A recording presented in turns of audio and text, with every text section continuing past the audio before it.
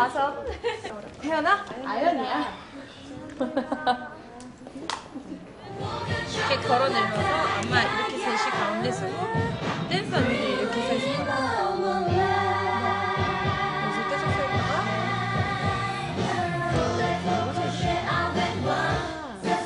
되게 간단한 동작 보면 언니가 가운데로 서서 이렇게 거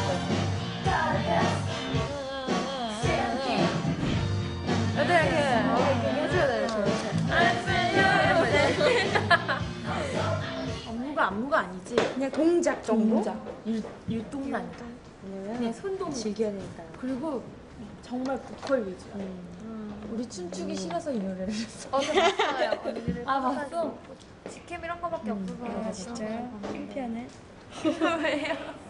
다른 분이 오시거든.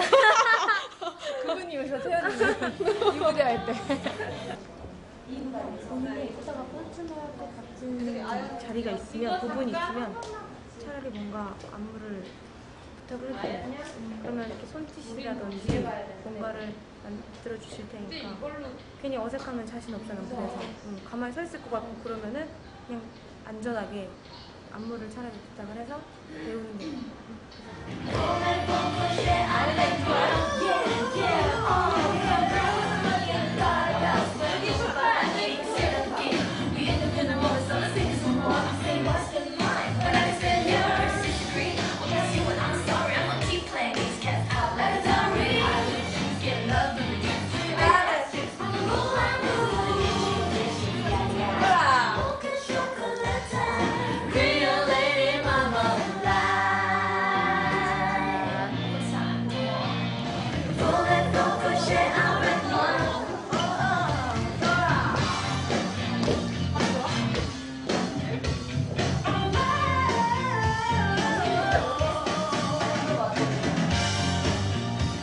見たことあるので。